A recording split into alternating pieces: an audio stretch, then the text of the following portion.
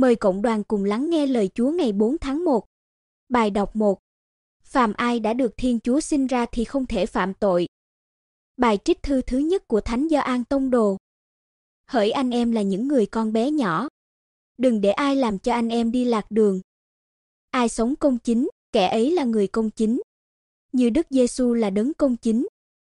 Ai phạm tội, kẻ ấy là người của ma quỷ. Vì ma quỷ phạm tội từ lúc khởi đầu. Sở dĩ con Thiên Chúa xuất hiện là để phá hủy công việc của ma quỷ. Phàm ai đã được Thiên Chúa sinh ra thì không phạm tội, vì mầm sống của Thiên Chúa ở lại trong người ấy, và người ấy không thể phạm tội, vì đã được Thiên Chúa sinh ra. Căn cứ vào điều này mà người ta phân biệt con cái Thiên Chúa với con cái ma quỷ. Phàm ai không sống công chính thì không thuộc về Thiên Chúa. Ai không yêu thương anh em mình thì cũng vậy. Tin mừng, chúng tôi đã gặp đấng Mêsia. Tin mừng Chúa Giêsu Kitô theo Thánh Gioan. Khi ấy, ông Gioan đang đứng với hai người trong nhóm môn đệ của ông. Thấy Đức Giêsu đi ngang qua, ông lên tiếng nói, đây là chiên Thiên Chúa. Hai môn đệ nghe ông nói, liền đi theo Đức Giêsu. Đức Giêsu quay lại, thấy các ông đi theo mình, thì hỏi, các anh tìm gì thế? Họ đáp, thưa Rabbi, nghĩa là thưa thầy, thầy ở đâu? Người bảo họ, đến mà xem. Họ đã đến xem chỗ người ở và ở lại với người ngày hôm ấy. Lúc đó vào khoảng giờ thứ 10. Ông Andre, anh ông Simon Phêrô, là một trong hai người đã nghe ông Gioan nói và đi theo Đức Giêsu. Trước hết, ông gặp em mình là ông Simon và nói, chúng tôi đã gặp đấng Mêsia, nghĩa là đấng Kitô. Rồi ông dẫn em mình đến gặp Đức Giêsu. Đức Giêsu nhìn ông Simon và nói, anh là Simon, còn ông Gioan, anh sẽ được gọi là Kepha, tức là Phêrô. Suy niệm, đây là chiên Thiên Chúa. do an tẩy giả nói với hai anh môn đệ đang đứng với mình như thế. Khi ông thấy Đức Giêsu tình cờ đi ngang qua, do an đã gặp Ngài, đã thấy thần khí ngự xuống trên Ngài. Ông biết Ngài là đấng đến sau ông, nhưng lại có trước ông. Trong một cử chỉ khiêm hạ làm cho mình nhỏ lại, ông đã giới thiệu cho các môn đệ mình một vị thầy cao trọng hơn. Ông để cho họ đi theo vị thầy mới, còn ông đứng lại đó một mình. Các anh tìm gì thế? Đức Giêsu là người mở lời với hai bạn trẻ đang đi theo mình, lúng túng vì chưa biết cách làm quen. Câu hỏi này chờ một câu trả lời nói lên điều mình thao thức. Thưa Rabbi, thầy đang ở lại đâu? Họ muốn biết nhà của thầy, cũng là biết chính bản thân thầy. Hãy đến và các anh sẽ thấy. Thầy Giêsu mời các bạn ấy đến thăm nhà mình. Căn nhà ở Galilee xưa thường chỉ có một, hai phòng nhỏ. Ngài mời họ đi vào thế giới riêng tư của mình. Và họ đã mau mắn đáp lời, đã đến và đã thấy nơi Ngài đang ở lại.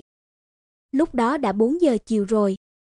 Thầy Giêsu hẳn đã giữ họ lại vì sợ họ về trời tối đường xa. Ngày hôm ấy họ đã ở lại với vị thầy mới quen.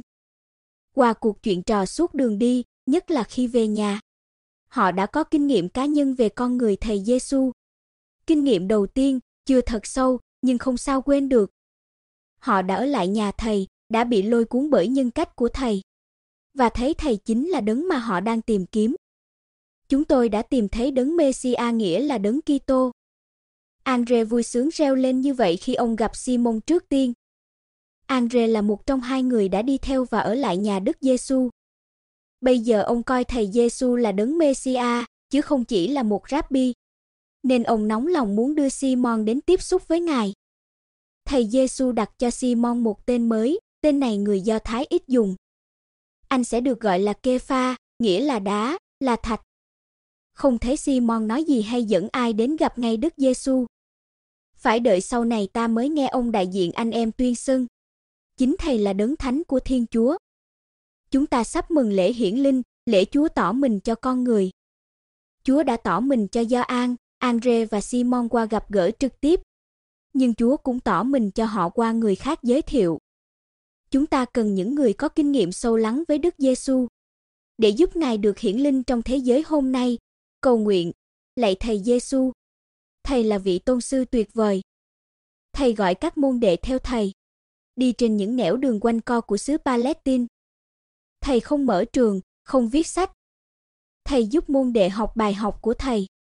Bài học của trái tim, hiền lành và khiêm tốn. Thầy dạy học trên đường. Thầy tập cho môn đệ nhìn những biến cố mỗi ngày. Với cái nhìn của Thiên Chúa, thầy giúp họ thấy giá trị nơi đồng xu nhỏ của bà quá nghèo, thấy vẻ đẹp của hoa huệ và sự vô tư của chim trời, thấy nét cao quý của trẻ thơ và phẩm giá của người phụ nữ. Thầy tập cho họ trưởng thành, tập đương đầu ban đêm một mình với sóng gió, tập tin vào Thiên Chúa khi phải nuôi ăn đám đông, tập can trường đối diện với cái chết nhục nhã và đau đớn. Thầy kéo họ ra khỏi cái tôi háo danh.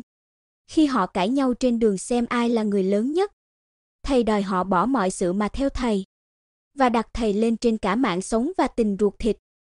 Lạy thầy Giêsu, khoa sư phạm của thầy là huấn luyện môn đệ bằng tình yêu. Một tình yêu kiên nhẫn khi họ yếu đuối và cứng lòng. Một tình yêu bên vực và bảo vệ lúc họ bị tấn công. Một tình yêu chia sẻ khi cho họ cộng tác trong sứ vụ. Thầy đã diễn tả tình yêu đến cùng của thầy khi cúi xuống rửa chân cho họ. Xin cho chúng con suốt đời học với thầy. Nhận thầy mãi mãi là vị tôn sư của chúng con. Và cùng với thầy, chúng con đi khắp thế gian để làm cho muôn dân thành môn đệ. Amen. Con xin chân thành cảm ơn sự lắng nghe của cộng đoàn. Xin Chúa chúc lành cho tất cả chúng ta. Amen.